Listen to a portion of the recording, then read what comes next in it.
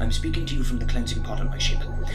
There was a nuclear core malfunction in the engine room, and I, as a dutiful captain, was able to fix the problem. But as you can see, I'm suffering from extreme radiation poisoning.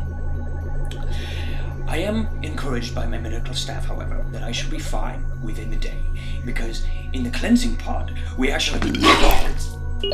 Gastrointestinal leak intestinal leak detected in the cleansing pod. Grandpa!